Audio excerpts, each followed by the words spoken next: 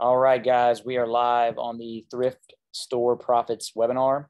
I've got uh, my good friend Matthew, who's going to take the lead here and show you guys what he's kind of been showing me the last few months. Um, he's actually the, uh, we go way back. We, we both had cancer. We went to a chemo camp together in, in Montana.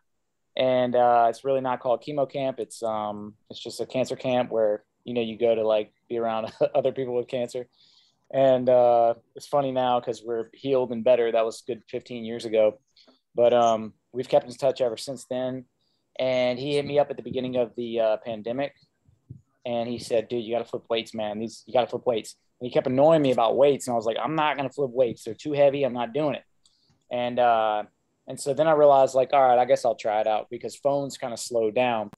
And man, I ended up flipping so much weights that I bought him some like what was that Johnnie Walker Blue or something? Yeah, you sent me a bottle of Johnnie Walker Blue Label. You're like, dude, I made like 14 grand. I'm. What's your favorite whiskey?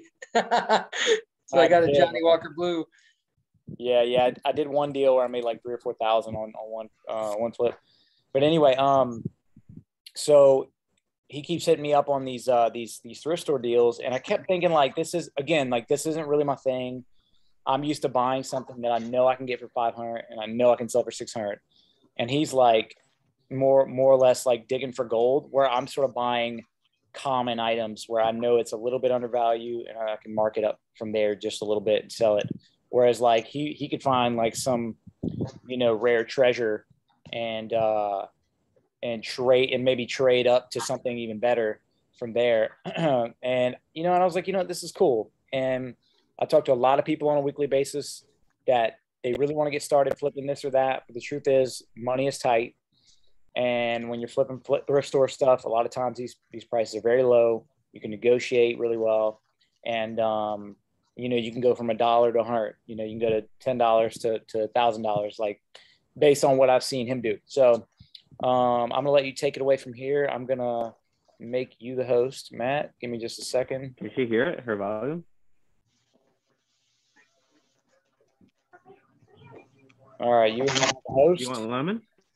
Sorry, hang on. I got to get somebody uh, muted. No, I just muted him because he made me oh, host. Good, good, Okay, okay, yeah. so, I didn't have so long to do that. Come on, take it. All right. Uh, all right, let's see. I'll share presentation. Let's get going on this. Um, can you all? Is it showing? Is it showing this? Can you all see yes. that? Yes, we can. All right, let me move this stupid, uh, I need to move this uh, bar that's in my way here. All right, thanks for that intro, Jeff. Uh, I threw this uh, PowerPoint together um, this weekend, so I, I, hope everybody finds it useful. Um, so this is the art of thrift store flipping. Um, just the agenda, I'm gonna give a little background, uh, what to purchase, flipping purchases, and additional ways to make money. Um, who am I? Why are you listening to me? I've been, man, I've been flipping collectibles and antiques and things like that since I was a little kid. Um, I was always a kid that had a lot of hobbies, but I came from a poor family. We never had any money. So I would buy things, flip things in order for me to buy things that, um, uh, you want me to admit people, Jeff? Let me. Yes, yes. Uh, right, cool. Yeah, because I, I no longer see when they come in. So just if you see them, it'll pop up middle of your screen, I think. All right, cool. Uh, get them on. Yeah. Cool. Thanks, man. So I would, I would, I would uh, buy things and flip things so I could buy things that I was interested in, whether it was magic cards, comics, didn't matter. I did all that nerdy stuff when I was a kid, uh, sports stuff. So I've been doing this a long time, and as I got older, you know, it just became a hobby to me, like a game to do this. And then I, I become really successful at it as an adult. As I, as I got more money, I could buy more things, flip more things. I, I could go to more events, um, different places to do this. Um, what I want to get off, uh, uh, get in your mind right off the bat is the mindset. This isn't like a Facebook marketplace or eBay flip. Um, I know a lot of people in here, they might have their niche where they're buying and selling immediately for profit. Like Jeff, uh, this is what Jeff does. Those that know Jeff, you'll buy a phone, you know you can buy it for X, sell for X pretty much immediately. Um, this is not the same. Uh, marketplace and eBay, the sellers or the buyers come to you. What I'm about to teach you is you got to go find the seller, and that's a very different mindset. You're also not assessing monetary value. You're assessing your collect the collector value of the item. If you bring something to a collector, it's worth more money than if you were to look on eBay. Uh, to be honest, a lot of collectors they may not go to eBay for a lot of their items. They want to see it in person, or or they a set they have a different value to it. This is what I found. I've gone to thrift shows, antique shops, things like that. So you want to start. I want you to start thinking about collector value versus monetary value. Um, another example: if I was to search a collectible, you may see a thousand of those collectibles on eBay. Um, you know, but you may have one if you were to show it to somebody in your area where there's not a thousand of those, you're going to get more of a profit. And I'll explain that as we get into it. Um, again, you need to find the buyer. They don't come to you. I'm going to teach you about trading up. Sometimes something you buy may not have a, a major collector value or monetary value you can see, but you can really use it to trade up or sweeten a deal uh, so that you can get a higher I- item um, there's a low investment. Most things are under five dollars or, or, very minimal investment, but man, they can have a high payoff. Um, so just just getting that mindset. You're you're not you're not going into a store to buy something to immediately flip it uh, right away for profit. Sometimes you can, but but sometimes it takes a you gotta you gotta get it's a different process. Um, before you do this too, you want to determine your profit margin. How big is your profit margin going to be? Um, when I started out when I was younger, you know, my profit margin was like five bucks. If I could make five dollars on it, I was getting it, and I was slinging a lot of stuff out the door. Um, that was my margin. As I as I'm a little older now, I have a full time job. You know, I do this as a hobby. Um, I go for big bigger ticket items now, things I know I can really get my bang for my buck. Um, so starting out, um, determine what your profit margin is going to be. What what do you want to make? Um, some people that have reached out to me to do this as they've seen me be successful, they pass on items they can make 10 bucks on. They're like, you know, I only want, I'm, it's not even worth my time unless I'm making, you know, 25 to 50 on it. Like they, they pass it up.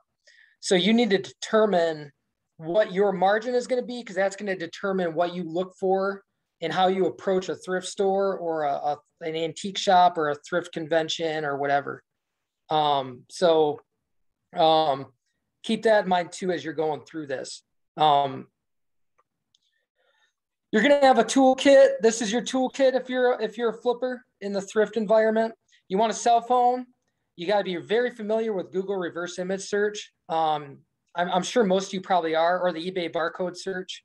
Um, and you need to have a plan of attack.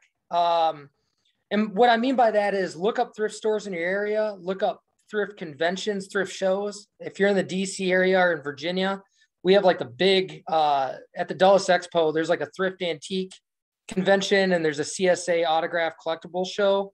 You're talking about 400 booths of people that have like their fellow flippers or pickers. Um, and I make a lot of money at those, just bringing stuff to trade and flip and, and sell that I get from, from thrift stores. So I have a plan of attack, like uh, line up some different thrift thrift stores in your area, um, line up how you're going to approach each one. Um, for example, the thrift stores have a layout. You know, clothes, books, toys, appliances. Uh, you know, they have they have it laid out in a specific way, like a general store. Uh, depending on your niche or what you're looking for and your profit margin, you want you know you don't want to waste your time walking around areas where you're not really going to flip things. You want to go in there for a purpose to to look for those items. Um, I call them grail items, uh, items that are going to give you max profit, um, items that are going to give you, for me, it's autographs or, you know, sign things that I know I can flip immediately. I can make a lot of money. Um, you know, it's things that I know are highly collectible, you know, that diamond in the rough. So, you know, when you go into a thrift store, kind of have and ha- have that, uh, have, have a, a method, um, be methodical in your search. Um, I see a lot of people overlook things. A lot of people message me and say, like, I'm not finding anything. I'll say, well, take a picture of the rack for me and send me a picture of the rack. And sometimes I can see things where they're just not, they're not noticing the value in it. Um, so, so have a method, keep that in your mind as we go through this. Um, what to look for. Um, these are, I'm going to explain kind of what I look for.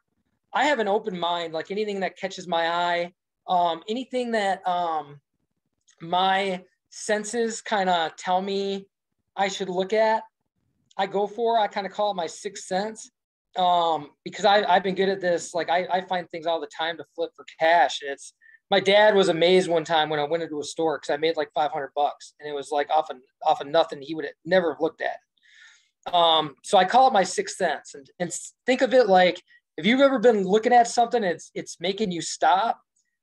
All of your your mind is processing that item faster than you realize. Like you're you're stopping to look at it, but you don't realize yet why you're looking at it. All of your experience, all of your knowledge, everything is telling you there's something about that item that makes it profitable, but you you haven't really your mind hasn't caught up to you yet. Like you're not aware of it yet. Um, don't ignore that um, you're onto something. So I keep an open mind. I'll see something and something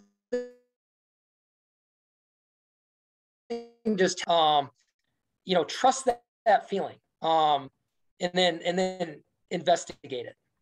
Um, so I'll get into what I look for. Um, these are sort of these are things I have a lot of niches.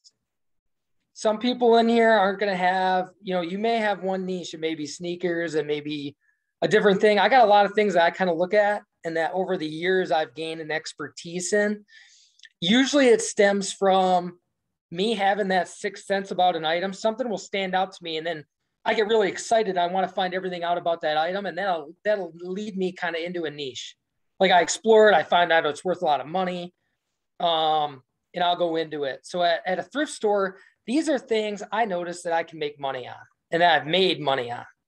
Um, jerseys, uh, you sometimes you find them autographs, just autographs in general, hats, baseballs, different collectibles, um, action figures, GI Joes, um, anything 90s right now is like taking off like wildfire. You can make big money on them, especially they're in the package. Anything vintage or rustic. Um, this is more for like home goods. Like I started this going with my girlfriend, and she was looking like putting things in the cart, and I'm like, why are you putting that, you know, wooden crate thing in the cart? And you know, when I started going to these thrift stores, I noticed that people have tables just lined up with things that are vintage or rustic or natural wood. And it's all things I see at the thrift store and they're making bank on it. Um, you know, so like that interior decorating like mindset kind of comes out. Like, would somebody want to buy this? If I staged it, you know, in a thing, could I could I sell it? Uh, you know, shoes, I, I come across Jordan's, you know, early 90s shoes all the time, stuff that you can flip um, political memorabilia is hot. Um, you know, at any party, you can find stuff like that, signed stuff. Um, that also crosses over into books. Uh, precious metals. Um, a lot of time thrift stores don't even look if it's silver, gold, or an actual diamond. So um, I found actual diamond rings and stuff in thrift stores, you know, in junk boxes. They don't even look sometimes. Uh, antiques, uh, vinyl records. Man, you can find a lot of records for like 10 cents at a store. and make some money on them.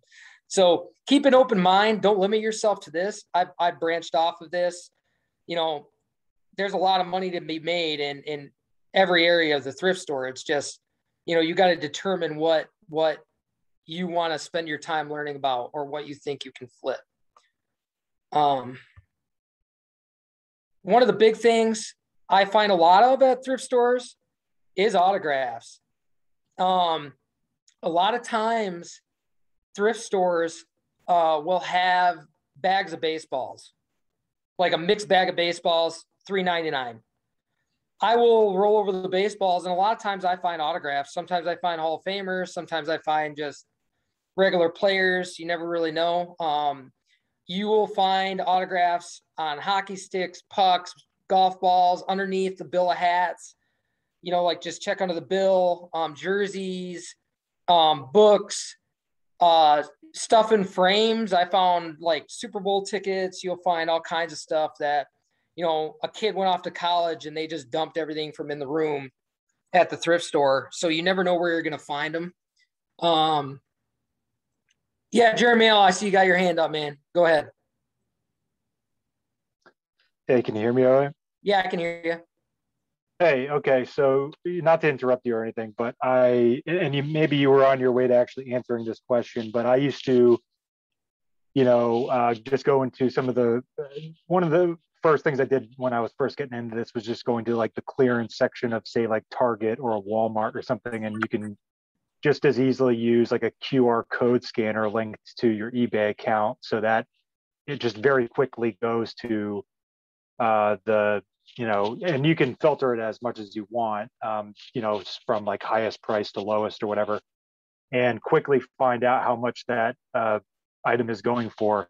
Considering you might end up in places where a QR code isn't necessarily available, um, would you suggest a particular site or resource for being able to?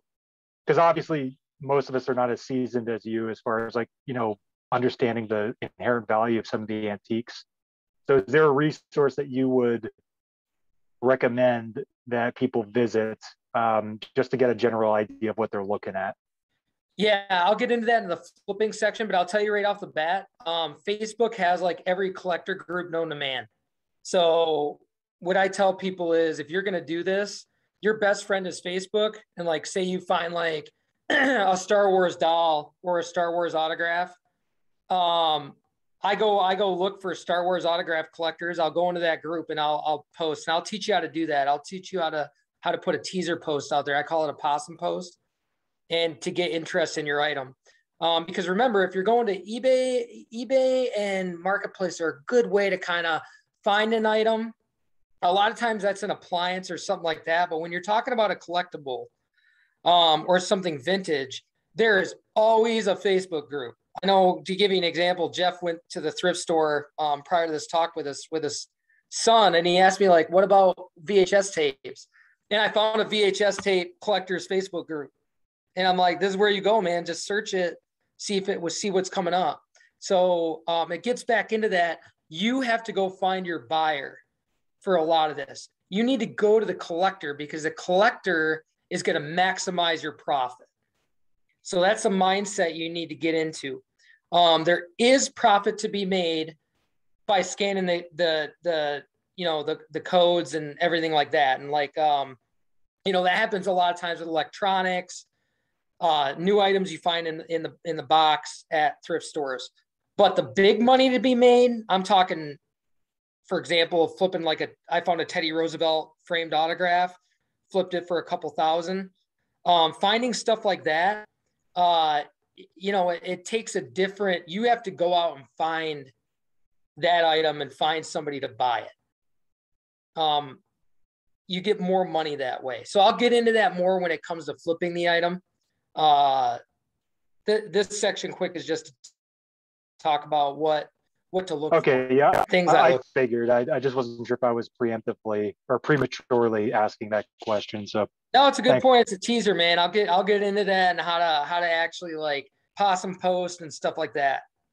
So but uh so yeah look at look so when you go into the thrift store look sometimes things aren't always as they seem. That's the point of this autograph section. Not many people would think of looking at a baseball inside a random bag of baseballs. Not many people would think of looking under the bill of a hat or looking in a book to see if it's autographed. They're all the same price as the ones that aren't. It's just finding those items and where to look. Um, another question I had is like how to authenticate um, or find out who signed it. Um, I'm telling you, you're if you go into a thrift store, I guarantee you can find an autograph. I'm telling you right now. Um, that's why I'm going into this. Um, look for team logos. Look for uh, um, like your area if there's a team. Look at the first and last name and do a search of the team. Um, autograph collectors groups are great. You can post a baseball that's autographed and say, "Hey, I found this in a lot of baseballs. Does anybody know who signed it?" I've never not find who signed my baseball or find sign my item. Um, how to determine if something is a famous autograph? Um, I get asked that a lot. Uh, one way is what does the autograph look like? If it looks pretty and it looks like the person signed a lot, it's probably a genuine one. Um, regardless, you're probably paying around 99 cents. So if you strike out, you could probably still sell the baseball for 99 cents if you wanted to. But generally, you can look at an autograph and determine by how clean it is whether it's a it's an autograph you should buy. Um, so I'll give you a quick example. This is a faded one. Um, not worth a ton of money, but it's a it's a good ball to start with. You can see it says uh, it actually says Orioles manager 2000s, and I can't make out the last date. It's an S and a P. So I just did a search of S and P Orioles managers uh, 2000s, and then I just filtered down and I found him. It's Sam uh, Perlozzo uh, signed this ball.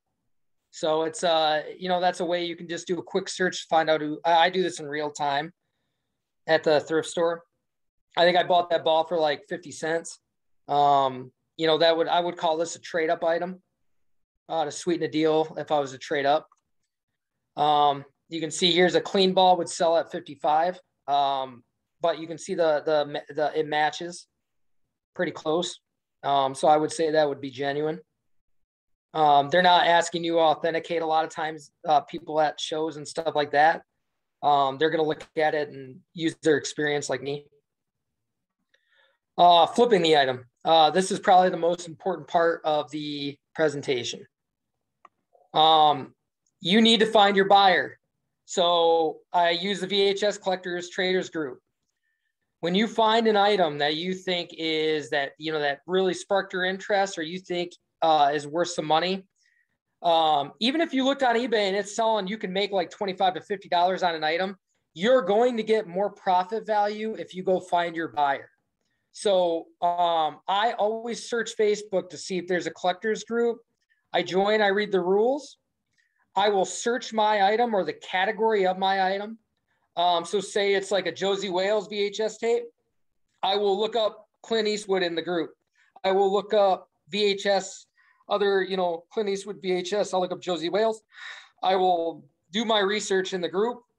I will find people that might be interested in this item, and then I'll message them uh, and, and, and see if they're interested in it and be like, hey, you know, I noticed you were interested in Josey Wales. I, I have this VHS tape. Is this something you'd be interested in? Like, w- would you, you know, I don't, you know, I, I was going to just whatever, you know, make your little pitch. Um, I do what's called a play possum post in these groups. I'll read the rules and I'll follow the rules. Um, that is a Leonard Nimoy signed U.S. Air, Airways ticket that I found at a thrift store, um, and I picked. Um, obviously, Leonard Nimoy is dead, and he's one of the most popular Star Wars or uh, Star Trek characters on the planet. Um, so I'll I'll do a possum post. What a fantastic May the Fourth mail day, you know, blah blah blah. I'll just do a post and put it out there. I'm not selling it. I'm just putting a post out there showing my item. Um, a lot of times you will have people comment on the bottom. I want that. Like I've been looking for that item. Like I am very interested in that item. A lot of times they won't post. They'll just message me. Hey, would you sell this? I'm really interested in this. Like this is I've never seen anything like it.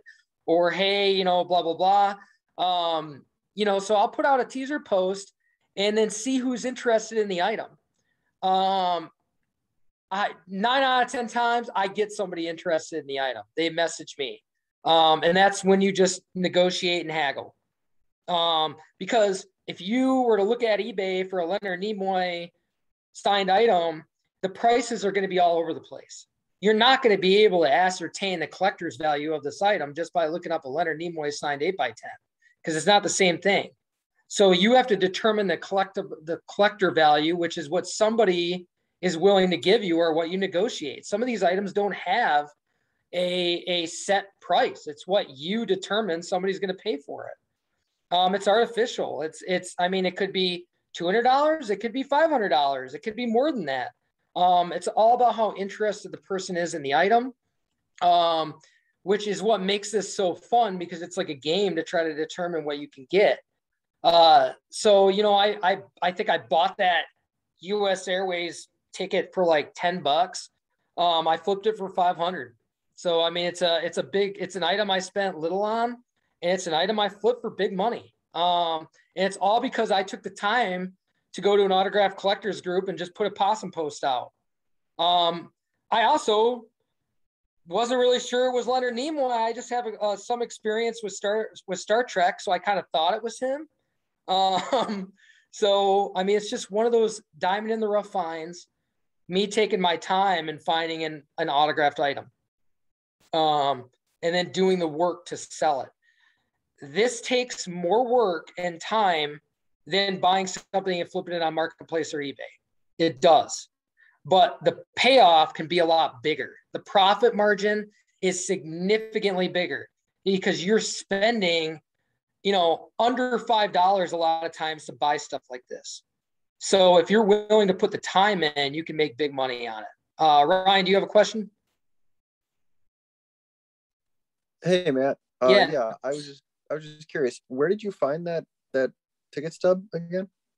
It was at a thrift uh, convention, uh, the Dulles thrift thing. It was just sitting on a table. Oh wow! So someone was just selling it for like five bucks. Yeah, somebody had it on a table. They said, uh, I think the person said they found it in a in a book. Um, it was in a book they bought at a thrift store, and they it was like a bookmark. wow. So they had, they didn't know who it was. They just had it on there, and I was like, man, that looks like Leonard Nimoy to me. So I just bought it off a whim.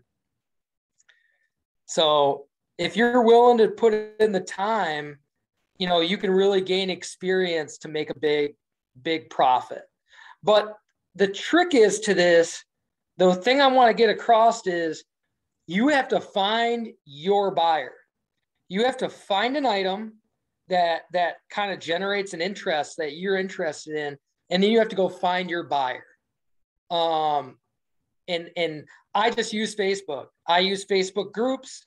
Um, I use as you sell to people, you'll build like a Rolodex of buyers. A lot of my buyers now are repeat buyers. I can walk through a thrift convention and say, Hey, found a Mickey Mantle ball. Are you interested?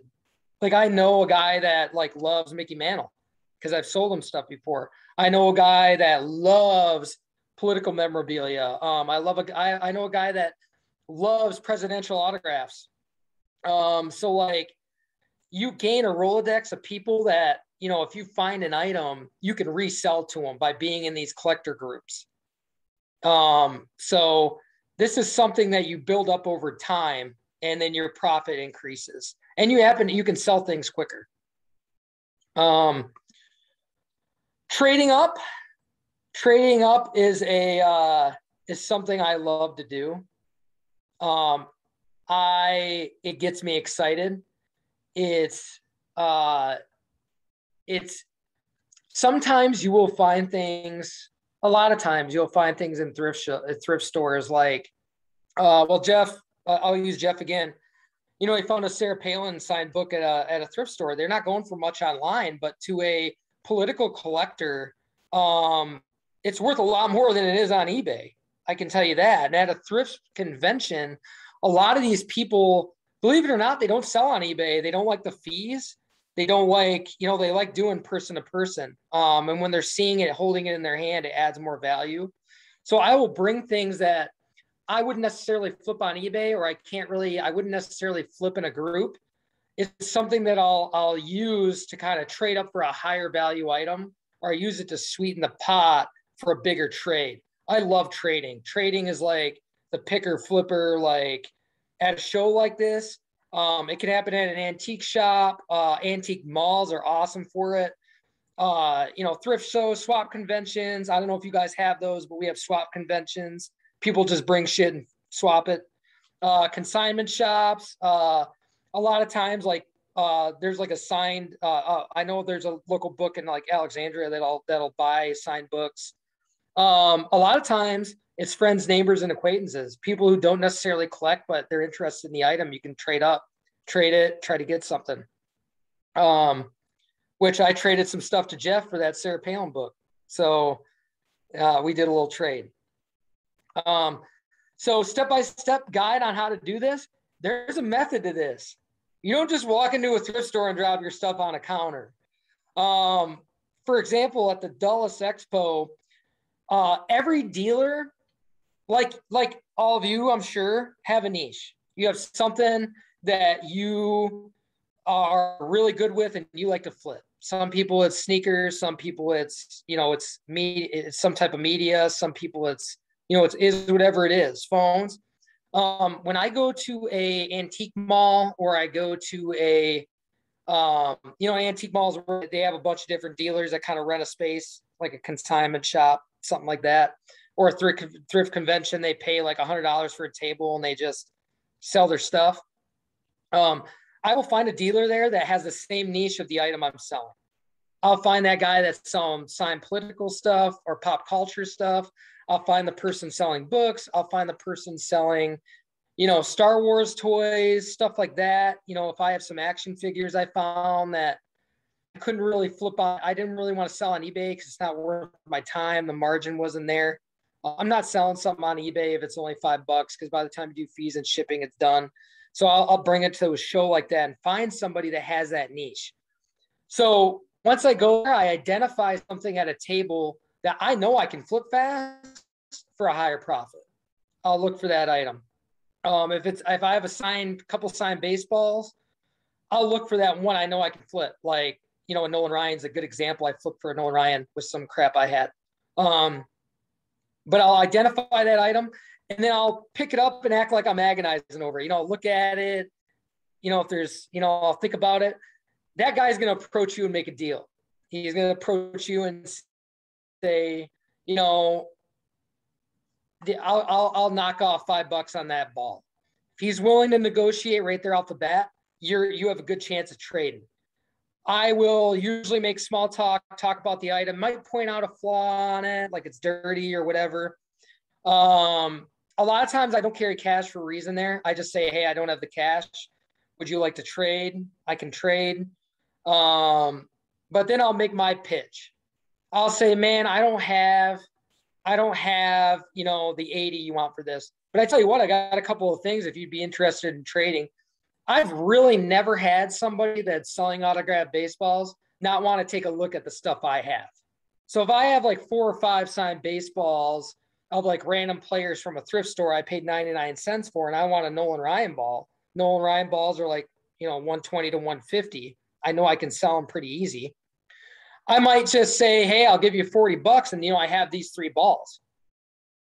In there, I just spent what, three bucks? I sweetened the pot with three baseballs. I spent 50 and I can go turn around on the phone and sell it for 125. I know I could sell it in like 10 minutes. So I traded up some of the stuff I bought at the thrift store, which I, I wouldn't necessarily get a big value on if I tried to sell it on eBay or in an autograph group, but I traded up and I, I got an item I know I can sell for a lot of profit. But it's just taking the time to be smart about picking who you're going to, identifying an item they have, and then making that flip. Um, a tip on doing this avoid cavemen. If anybody's a flipper or anybody's tried to trade, cavemen are the people that they overprice their items and they won't budge on them.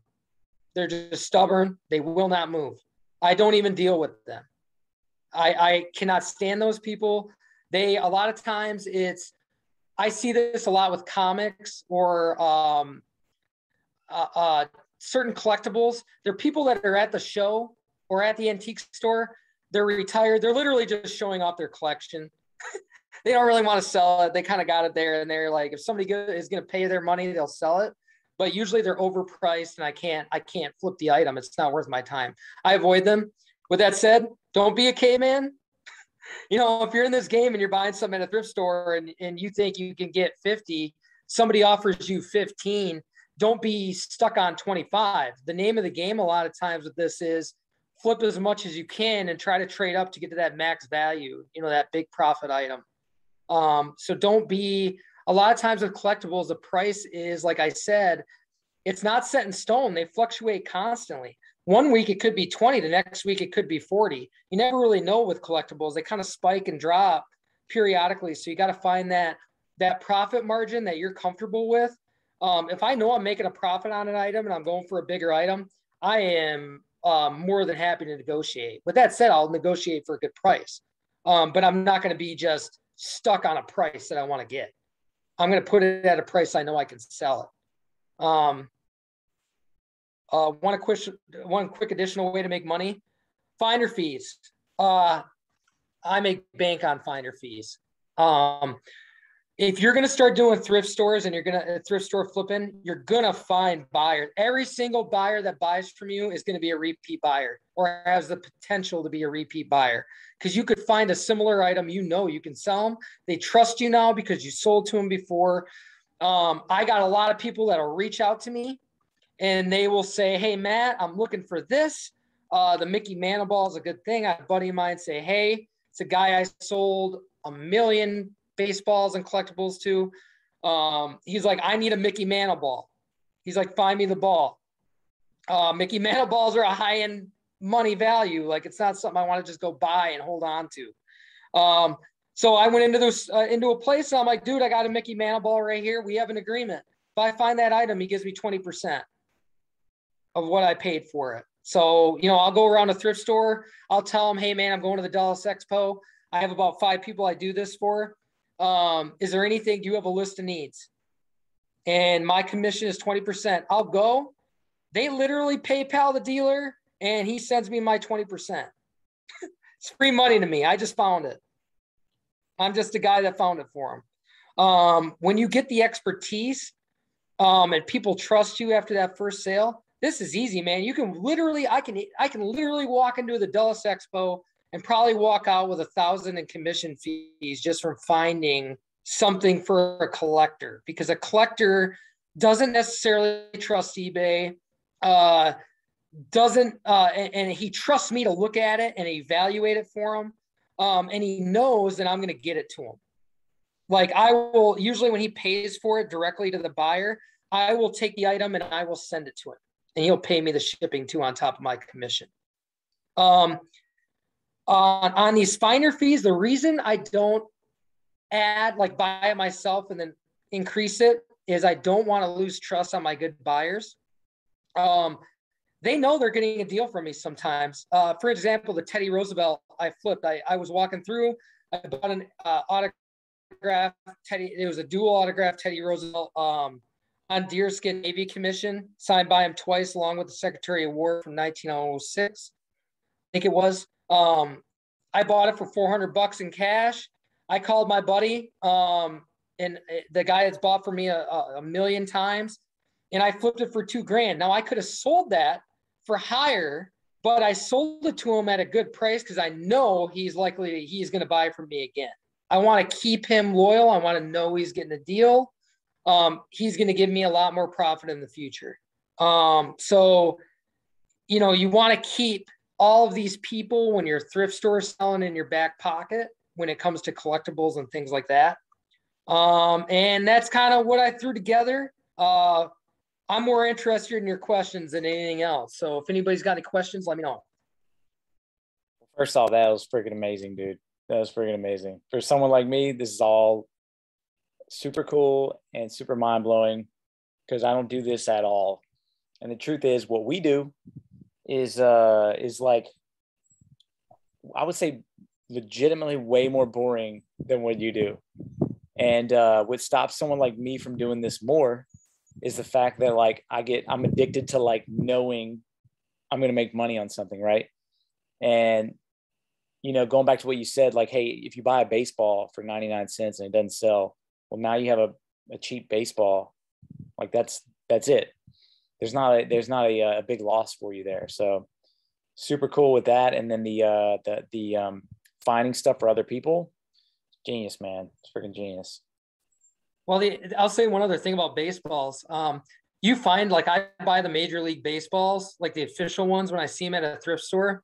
Honestly, baseballs are usually like not even 50 cents. Sometimes they're 25 cents. Um, and what I'll do is a lot of collectors they don't want like a minor league baseball or a clean baseball from Walmart signed by a professional ball player. They want an official major league baseball signed by a ball player. So I buy stuff like that. And then if I see like a free signing in the paper, like, you know, Lids Hats always does this. They'll be like, hey, we're doing a signing for a baseball player at the mall. I'll take those baseballs there that I paid 50 cents for. I'll get that guy to sign it and then I'll flip it for a hundred bucks. Like, you know, so I'm always thinking about like how can I or a poster, how can I get this this item that I paid nothing for? Um, or I got a buddy that that opened my eyes to this. my buddy brings baseballs to events like that because like the CSA show is an autograph show. They sell baseballs there for like 25 bucks.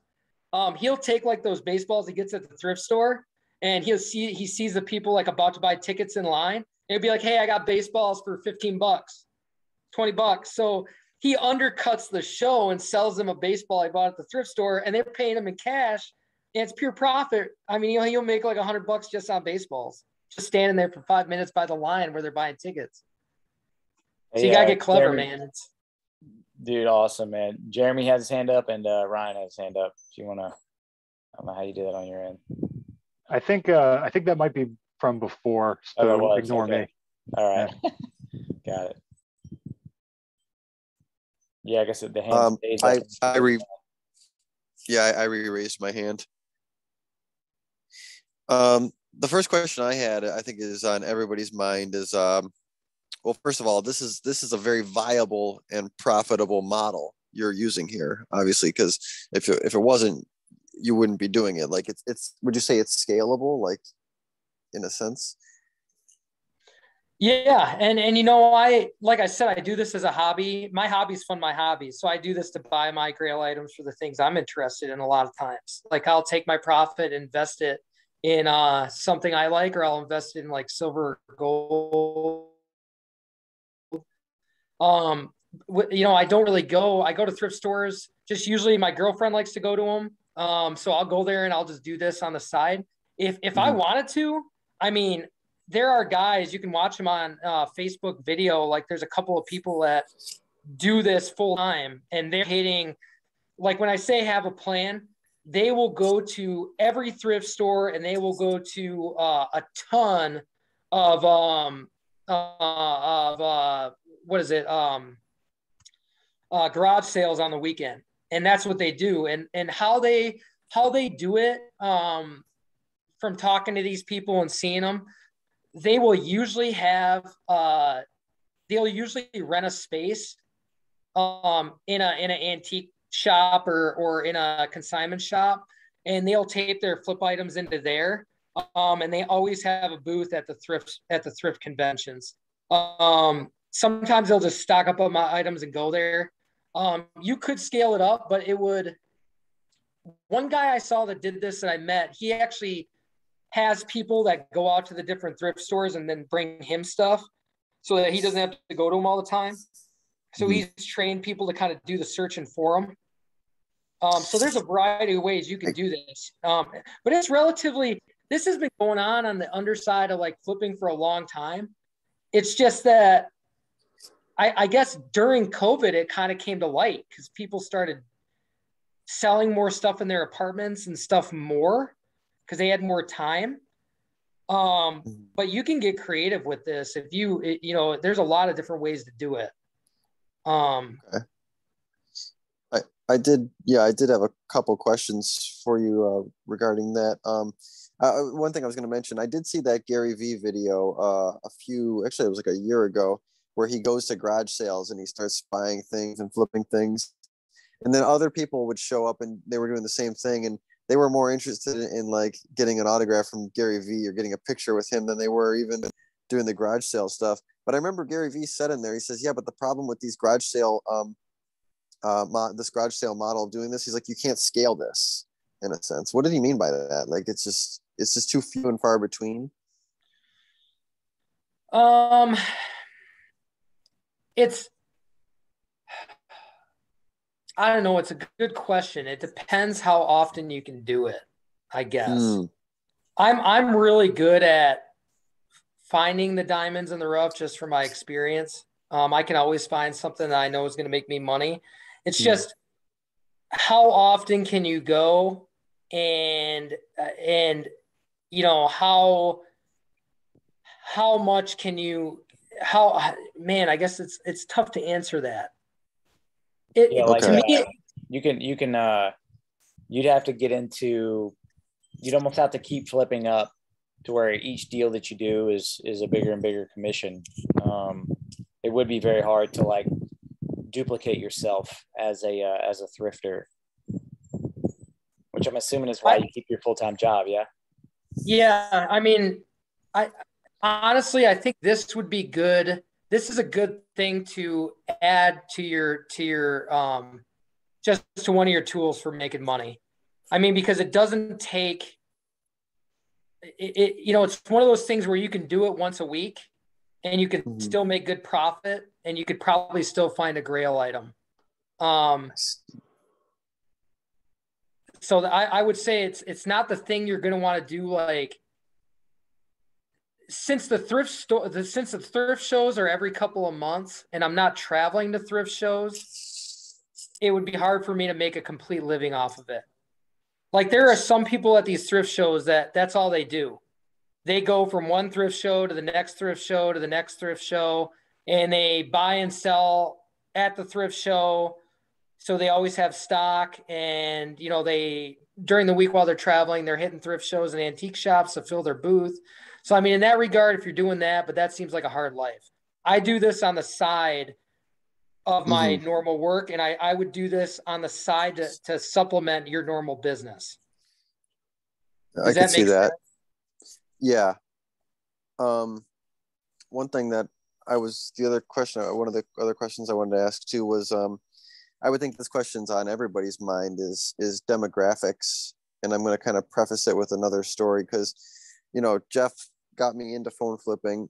I was in Florida two months ago um, with a friend who's actually been phone who runs a phone flipping business in Florida, and he's doing really well. And I worked for him. He trained me really well um, to the point where now I'm very confident about my ability with phone flipping because I can see I've, I've had so much experience working with him. I can see what it's supposed to look like when it actually works every time. So now I have in my mind the model of what it looks like when it succeeds, like what it's supposed to look like. So now I come back home, which is here in Buffalo, New York. So now the thing is, I'm going to apply the same model that I did in Florida here in Buffalo. But the thing is, it may or may not work out because this is in Florida you know so um with that said i think I, I, just want to get you like what's your opinion like as far as like when it comes to everywhere is different. I'm sure you could probably argue i might go to a thrift i might go to thrift stores and say like dude i didn't find anything. But if you come here like dude i just found like thousands of dollars worth of stuff. You missed all this kind of thing. Like what is your opinion as far as location? It's just it all it doesn't matter. Like it you never know what you're going to find anywhere you go. It's right? Or would you kind of comment on that? Um no, I would get. I would say that you could you could use you could. I, have been thrifting all over the United States. Um, whenever I go somewhere, I go into thrift stores and I do this. Um, you generally have the same layout. The general you generally have the same items, types of items. Now, with that said, you always have the potential when you walk into a store to find a big money item. They're not always going to be there, but you got to remember thrift stores are constantly every day you go in, they they restock the shelves. I mean, you have stuff flowing in and flowing out nonstop. Um, the people that donate to thrift stores are usually people that are too lazy to go to marketplace. Um, so a lot of the items you see are things you could easily probably sell on marketplace. Some of them, like furniture wise, stuff like that, uh, electronics, stuff like that. But wherever I've been in the United States, you generally see the same things at a thrift store and you you definitely have the the for me i guess it's i guess i it, it's it's hard for me because i have so much experience with them i just i just know what i when i look at a rack what i can see and i generally see the same sorts of things it's just i always seem to find something that i know i can make the profit of just from my experience is there an equalizer at play there in, in terms of let's say you have a much wealthier city versus a poorer city? Are you is it more likely you're going to find obviously better, more valuable things? Yeah, yeah, that does hit. Um, so like in DC, I get a lot of signed books from politicians and stuff like that because I'm in DC, and whenever a politician leaves or a staffer leaves or something like that, they dump their books at Goodwill because they don't want to take them.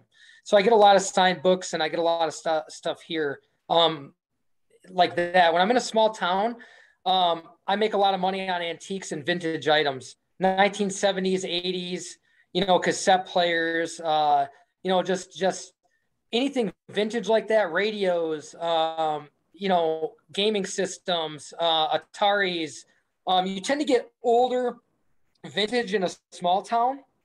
um, opposed to a big city uh, because you get a lot of uh, you get a lot of um, you know generally older people uh, donating things in a smaller town. Uh, people tend to hold on to things longer.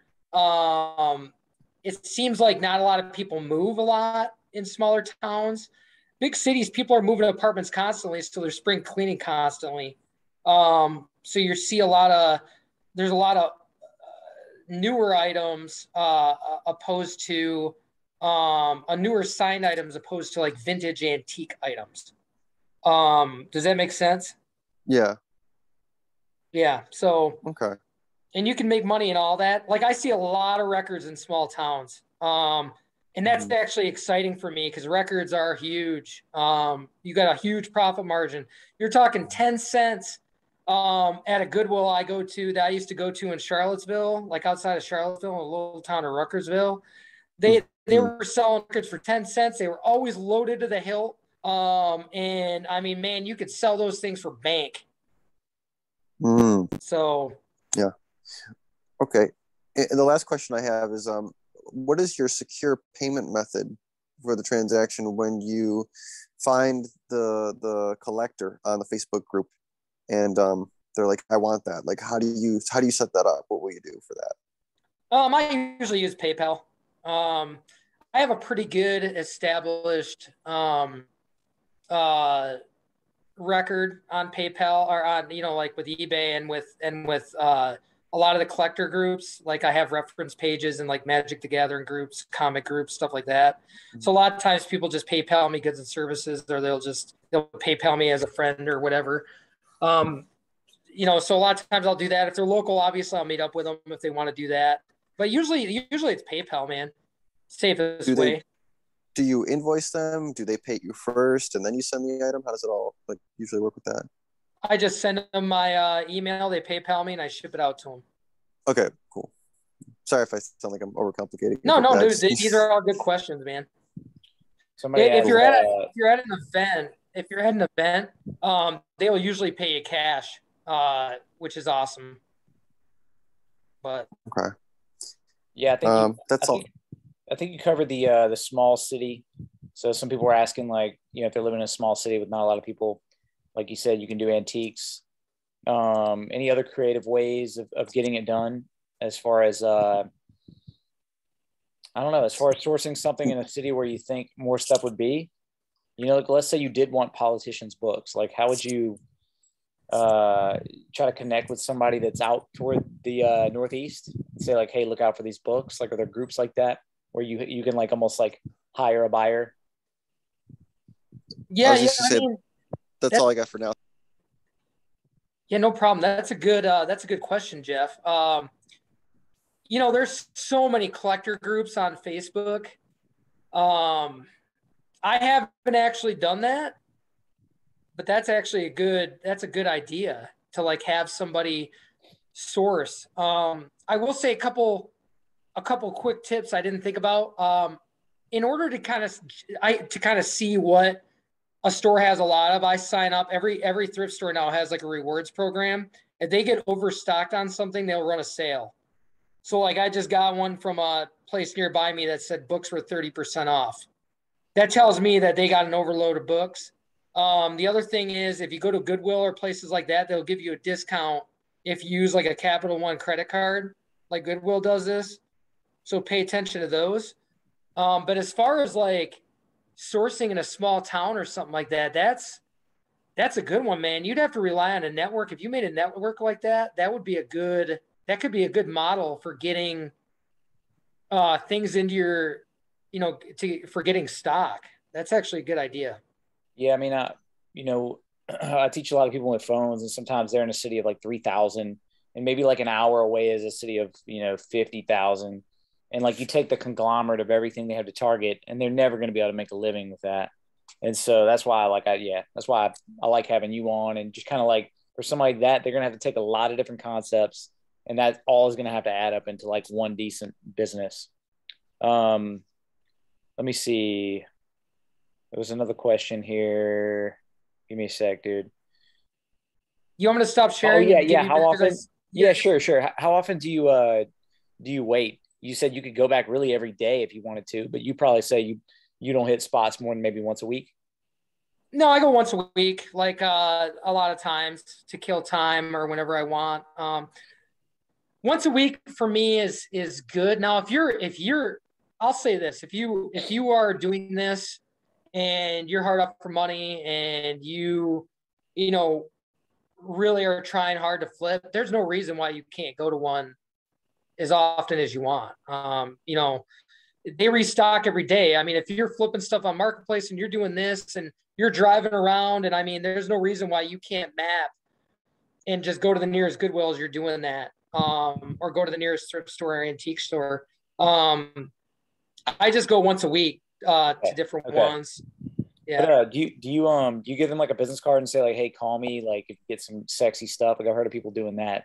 Do you make relationships like that, or you kind of remain? I have. I, I do that mostly at antique shops or thrift conventions. okay. Uh, Goodwill and stuff like that won't do it. Um, but like if you go into care. an antique store, Yeah. yeah, or or or uh, one of the biggest one is consignment shops.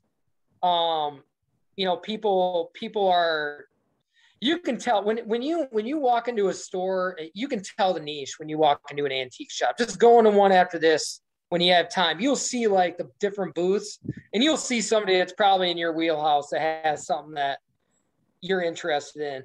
That guy is passionate about that item and he's flipping it. If I'm looking for something, I will give him my card. Yeah. Uh, Ricardo, did you have a question? Think so. There we go. Yeah, I have. Um, the question is, uh, have you got into any like artwork? Because like thrift stores uh, sell art artwork, and sometimes you can find something that might be of value. Absolutely. Um, I made 300 bucks on a painting the other day. Um, there's, so what I look for, uh, I always go to the frame. Remember I said, be methodical about where you go. There, the thrift store is set up in a specific way. Like I said, you have your clothes, um, you know, you have, you have your framed items. Um, today when I was in a thrift store, I saw there was an original Humphrey Bogart 1949 movie poster that was framed in a frame somebody had. And it was 7.99. I mean, um, but I have found paintings, and you can tell they're legit paintings. They're usually on the back. They're numbered. It looks like an older frame. You can see the signature. Um, I will Google the artist. Um, the one I found recently was like a ship. It was smaller painting, um, and it happened to be somebody that uh, had like a lot of their paintings in California but the smaller ones were comping at about um I don't know, they're like 500. I think I sold it for three. I bought it for 20. Um, so it's one of those things where if if I see an original painting at a thrift store and it's 10 bucks, I'm gonna buy it. you know, it's one of those things where it's a such a low. Think about that. It's such a low uh, investment, but it's a legit painting that somebody did. And if it looks good, I mean, you could stage that. You could flip that on marketplace. Um, a lot of times, you can do to find the artist. You could do a reverse image search of the uh, of the painting, and it'll bring up paintings that are similar. I've done that and match the match the signature on it, um, just because the style is the same. So I would say, man, if you see a painting, it's a legit painting, not like a copy. Um, you know, it's it's worth the investment um, because you can you can definitely i would say you're not a flipper if you can't flip a painting that you bought for you know under a hundred dollars more because paintings have just so much value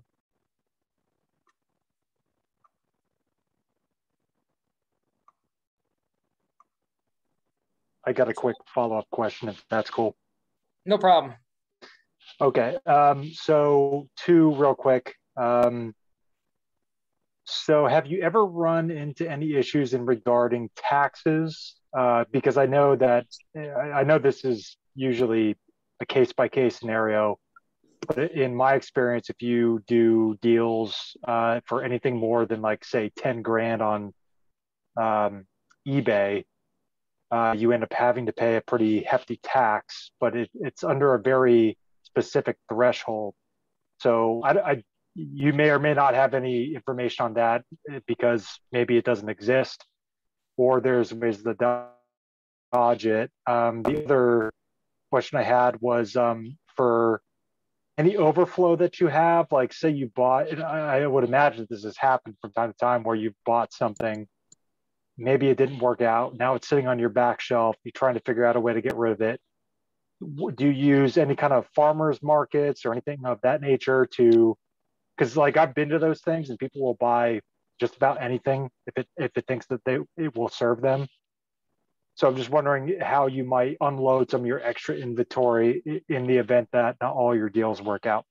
I use them as trade up items at the Dallas Expo. It's 400 tables, so I just throw it all in a backpack or put it in my car and and I go trade up or I or I try to sell it. Um, as far as taxes, the threshold was twenty thousand dollars or um, a certain amount of sales. Um, I don't hit that uh, just because you know I just I do this on the side. Um, now the threshold after the Democrats passed that Americans Whatever Act, it's six hundred dollars. Um, uh, and PayPal or eBay will give you a 1099k. Um, what I was told by my buddy who's a tax lawyer is he said, well, if eBay is going to treat you as a business and give you a 1099, what you can do is add up all of your purchases on eBay and then count it against your sales on eBay um, because they're considering you a business. So every every purchase you make is a is a business investment then. Um, and you always make more purchases than you do sales a lot of times on eBay. Um, but I haven't done it yet. I haven't. Th- that was last year. Um, those new rules kick in on January one.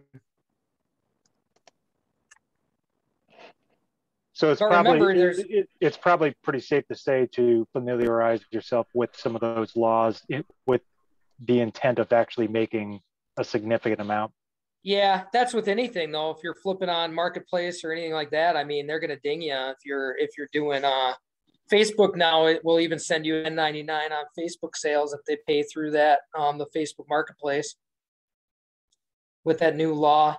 But like I said, you're always making a purchase on an item, and all that can be written off. So my you know my buddy just said just add up the sales you have to the purchases you've had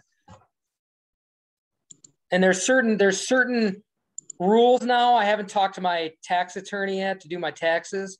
There are certain rules that deal with collectibles that are different than like selling, buying, and selling newer items. Um, but this is such a new law. A lot of people don't even know what's in it yet. So, I mean, it takes effect on like the first. It took effect on the first. So when I go in, you know that that would probably be a different. We're all gonna have to investigate how that would impact you.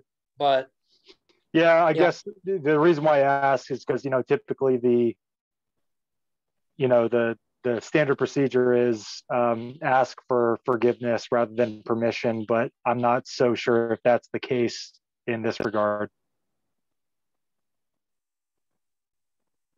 If you know what I mean. Yeah, I don't know. They're all required to give me a 1099. So, I mean, you know, I'll just write off my purchases against my uh, against my profit. Okay, that's that's pretty much it. I mean, the, the only other thing you touched on, which uh, which was a question of mine, but was covered already, is that uh, in my experience, yeah, it's very uh, it, it's a good strategic move to look up the more wealthy areas and then to hit the thrift stores around there, just because it's you know common sense. You know, they, they're going to get rid of stuff that they don't think is worth anything.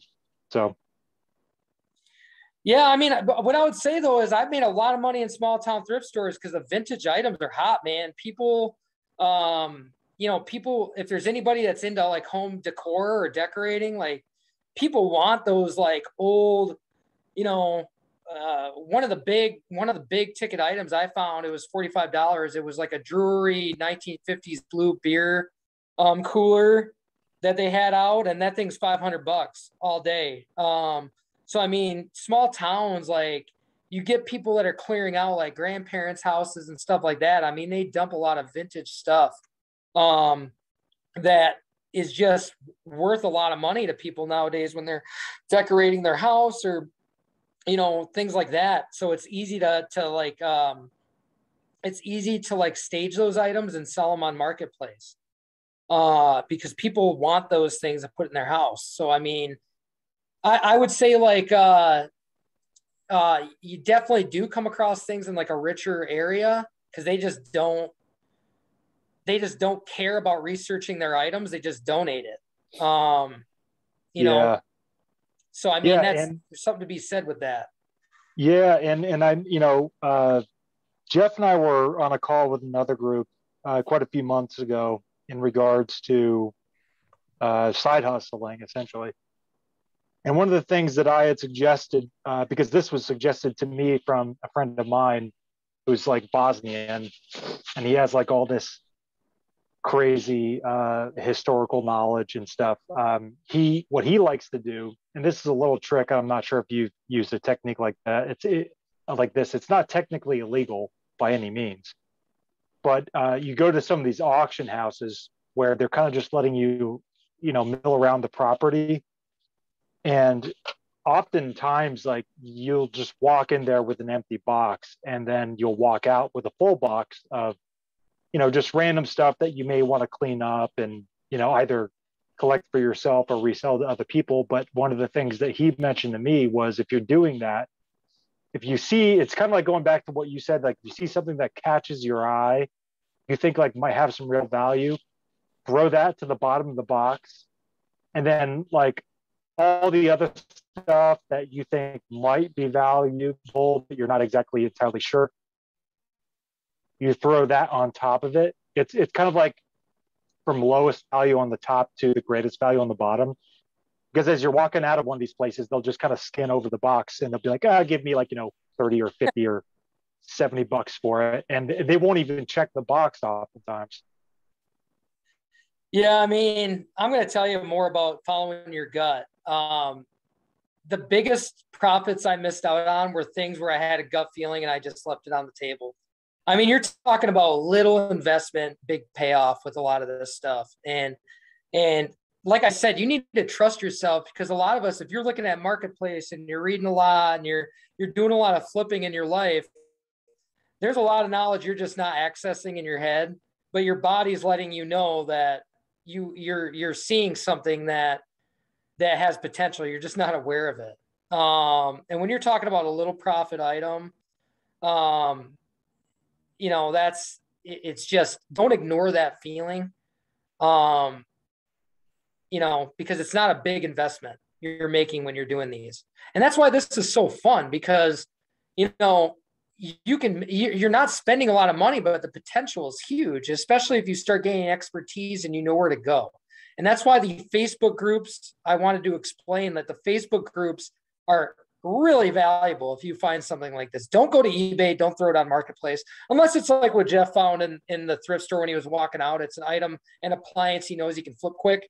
Um, stuff like that yeah throw it on marketplace. But a collectible go to the group. Vintage go to the group that collects it.